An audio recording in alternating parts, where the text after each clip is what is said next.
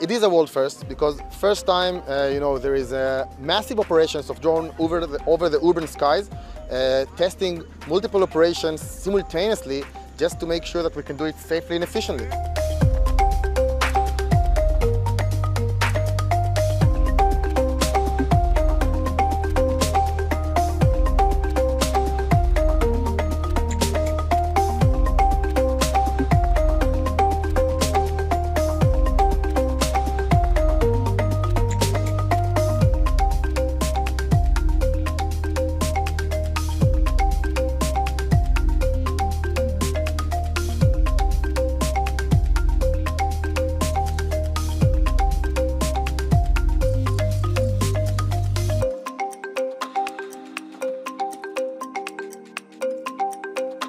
Going to take, you know, two years from now, and we're going to see multiple drones flying over the city. You know, like we're building the new skies, and we're going to get used to see drones doing safely deliveries over our heads.